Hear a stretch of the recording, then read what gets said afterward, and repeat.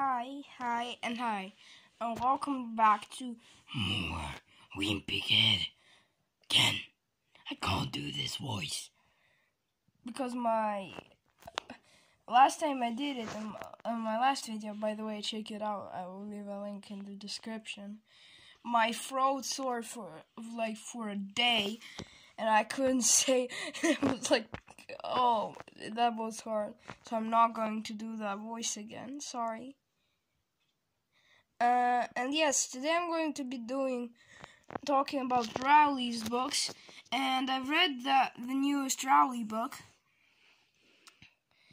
uh, about that no the adventure, and I didn't like it that much because I've read The Hobbit and The Lord of the Rings, both of them, and this is just like a copy of The Hobbit, and it's I didn't really like this book. The first one was more or less okay because you had to see the uh the same things, but in Rowley's perspective, except except of Greg's.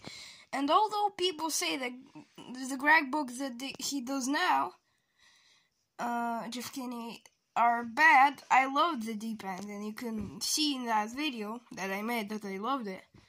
And Rowley books, I think he was just for money. You know, it's clickbait, how they say in YouTube. But so, and I hope the next book. There was a hint in the first book that this book was going to come out. I have a video about this on my channel soon.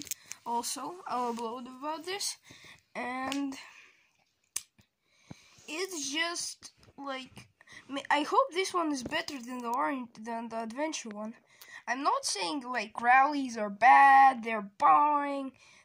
The adventure one wasn't like it was funny, it had some good moments, but I didn't really I don't really think fantasy is the right genre for Jeff Kinney, so yeah, I'm not hating for I'm like Rowley fans out there, I'm not hating on you. So, and I'm not saying that Rowley can't be good. There are some I hope the next book would be good because all the Wimpy Kid fans are waiting for this. And I would like honestly, I would prefer he would do more Gregs than Rowley's, but it's just okay. I'm sick with the what he does, and we'll see what uh he'll do. Yeah, guys, subscribe to my channel. I'll see you next time, and bye. Bye-bye.